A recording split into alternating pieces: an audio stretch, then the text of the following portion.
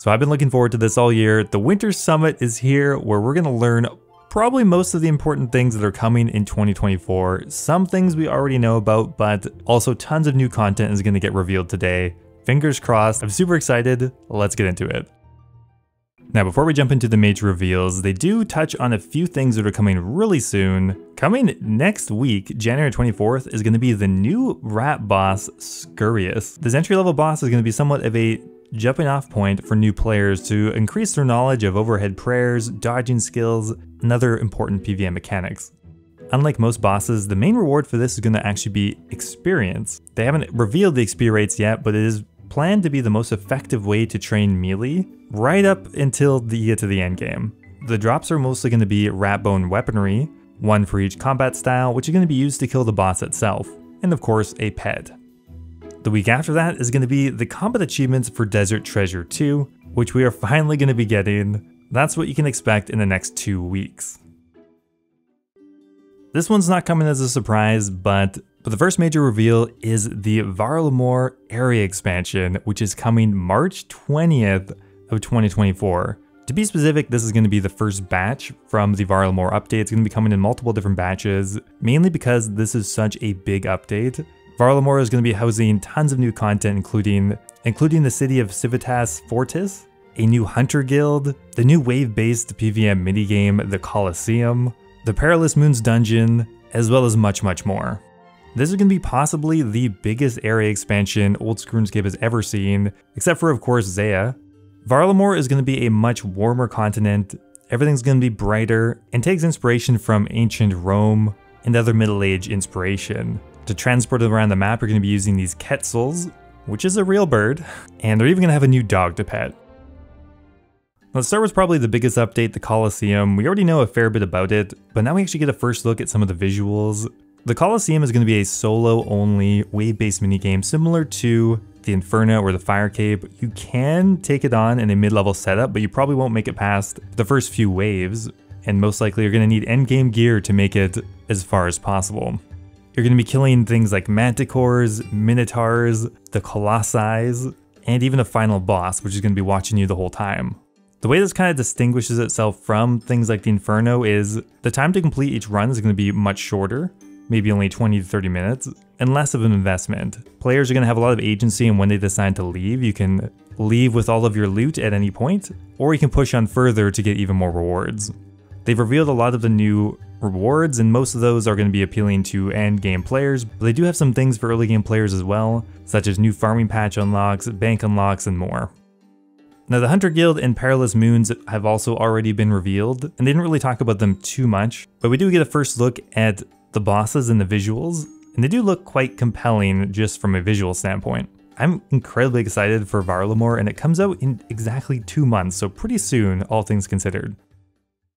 So the next major thing we're getting in 2024 is going to be an official Old School RuneScape HD update. Now I thought I was pretty happy with RuneLite's HD version 117, and just to get this out of the way now, all clients are still going to be allowed even after the official HD version is released. But what Jagex is working on is also incredibly exciting. They're completely going to be revamping the renderer with a new feature called RuneTek, and that's going to allow them to build a very good looking HD client from the ground up. Now similar to the RuneLite HD, they're not going to be adding in new brand new models or anything, it's just going to be building up a ton of HD features onto the existing artwork, which is personally the style I like the most. They're going to add in things like dynamic lighting, volumetric lighting, fog, and probably the thing I'm actually the most excited about, HD water, which looks absolutely amazing. Oh my god kind of beautiful already, but we're going to be getting an alpha to try it out ourselves, theoretically,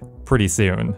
Now to be able to run this, you're going to have to be using an official Jagex client, so either the Steam client, one through the launcher, or mobile, which means you are not going to be able to use RuneLite and the official HD setting at the same time, which which means to be able to play this, you're not going to have access to all the bank of RuneLite features that are currently available. So we'll have to see how many of those features Jagex can get into their client before an official release, but it does look amazing.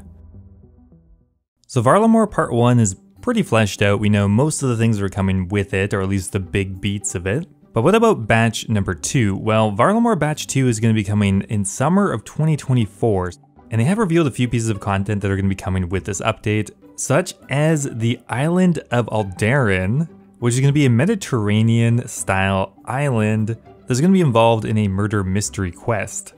On top of that, they're looking to introduce a new herblore training method that is going to revolve around the island. This activity will be introducing new herblore items and content specifically for 70 plus. This most likely will not be the best experience, but they really want to add in an actual reason for especially main accounts to train herblore. So we'll have to see how they can incentivize players to do that instead of just bank standing for 40 hours to get 99. The second major thing they revealed is going to be the Hailstorm Mountains, where they're going to be introducing a new group boss. They revealed pretty much no information about the boss itself, except they're not going to be going with a humanoid design. It's going to be something more like a monster. And it's also going to be encountered in the overworld, something that you could kind of encounter naturally and could even be in a populated area, instead of being underground, in a cavern, or a specific boss chamber. So it's going to be a while until we get Varlamore Part 2, but Part 2 is coming summer 2024. Part 3, we know there is going to be a third batch. No release date yet, but sometime after Batch 2, because that's how numbers work. Next up here, we have Sailing. We know a bit about Sailing so far, and the first thing we're going to get out of the way, there is no hard and fast release date for Sailing as of yet. Sailing is the biggest project the old school team has probably ever worked on, and it's going to be hard to find the right balance of content to be done for release. If they wanted to keep developing the skill until they added everything they want into it, it could be years until sailing is done. But there are some base features that are already done, such as adding in a level up system, max cape functionality, a skilling guide. You're able to trim the sails and sail around in a rudimentary way. Ships will move at different speeds if you trim it, and you're even able to board other players' ships. Now they've somewhat established that levels 1 through 50 in the early game, you're going to be focused around ports like Port Sarim, Catherby, and Port Khazard. 50 to 80 in the mid game, you're going to be unlocking large ships, be able to flesh out your own crew, and unlock a ton of the secondary training methods, those being like island exploration, combo training methods, and integrating it into other skills. From 80 to 99 in the end game, you're going to unlock colossal vessels, and there's going to be a large amount of meaningful unlocks between these levels because, as everyone knows, these levels are incredibly slow, so they want to jam pack the endgame in particular with interesting content. Now, so far, there's planned to be three Sailing betas. One is going to be a technical alpha, which is going to be coming out sometime in Q2 of this year, so sometime May onwards, which will allow us to get our hands on Sailing for the first time. There will be a second open beta, which will encompass most of the content that's coming out at release, and will be very close to the actual launch date. Besides that, they didn't actually talk about too much of the actual new content that's going to be coming with Sailing that's still being developed, but if you want to get involved, there is a community contest that's going to be happening this year for community designs of the Sailing skill icon, the Sailing Cape, and even to design your own islands which could make it into the Sailing skill. Pretty cool.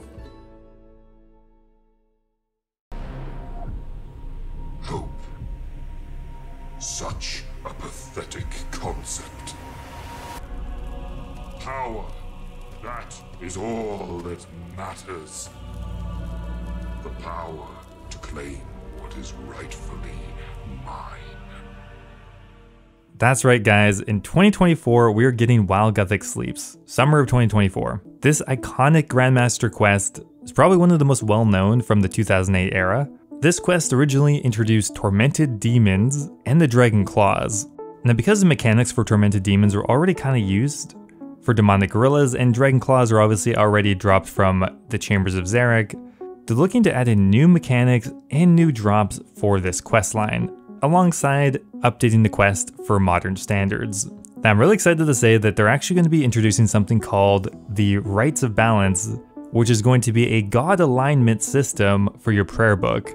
Now, as many of you know, the Ruinous Powers were actually shelved this year, but they said they would come back to them and this is the time. God Alignment started as a community suggestion, and it kind of works like this. Instead of getting a brand new prayer book, an alignment is going to be part of your main prayer book, but with a few extra prayers you can get from aligning to a specific god.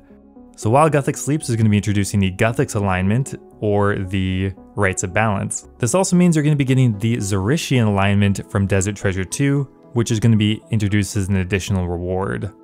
And they're not just introducing one quest, we're also going to be getting the Defender of Varrock, which will also be released this summer.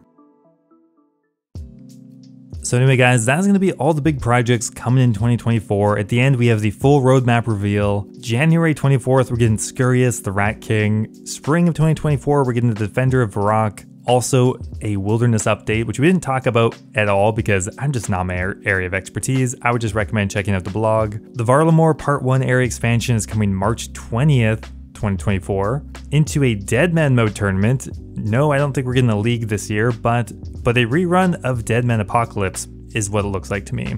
Summer of 2024, we're getting While Guthix Sleeps and the Varlamore Part 2 expansion.